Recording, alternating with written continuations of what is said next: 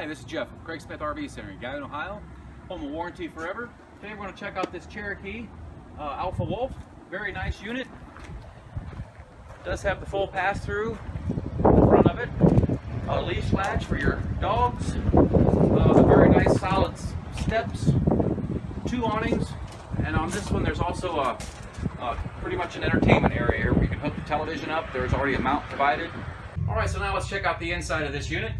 I'm in the kitchen area. If you notice, there's a huge countertop over here. Uh, farm style sink here. Uh, the microwave and the, the hood here are both stainless steel.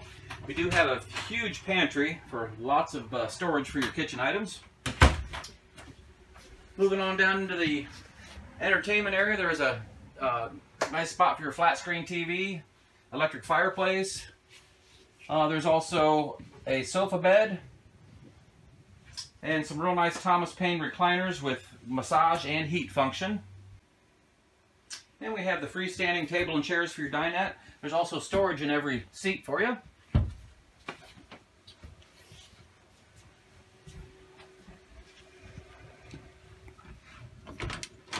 And then we have the very good sized bathroom. Nice stand-up shower in the corner.